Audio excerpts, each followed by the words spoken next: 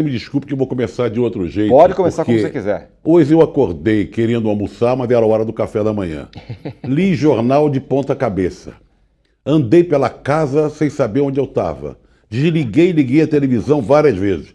Porque sem jogo, fica muito estranho durante uma Copa do Mundo não ter jogo. Começou com aquela coisa de não ter jogo das sete e jogo das dez. Já complicou um pouco.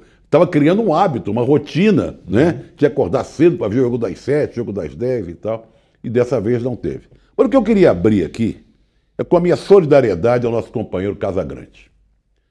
E não é por corporativismo, porque ele está aqui entre nós no, no programa, no posto de bola e também com as suas crônicas maravilhosas lá no UOL, mas é porque eu aprendi com o meu mestre Darcy Ribeiro a ser um homem indignado.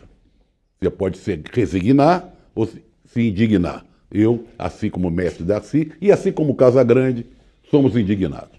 Tem toda razão o Casão quando escreveu, fazendo a comparação dos jogadores campeões do mundo brasileiros sentados em poltronas, festelados ali ao lado de sheiks, emires e cartolas, a comparação com os ex-craques argentinos no meio da arquibancada, comemorando a vitória de um jeito mais pujante e e eufórico e emocionante.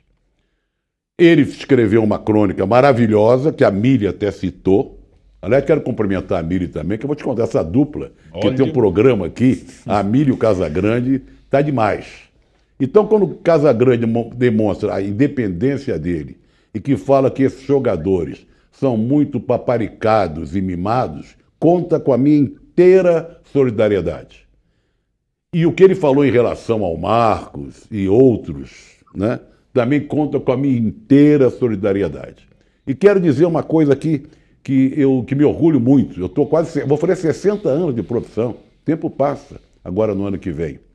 E já dirigi em muitos lugares, já fui com hum, chefe de várias sessões, etc, etc, etc.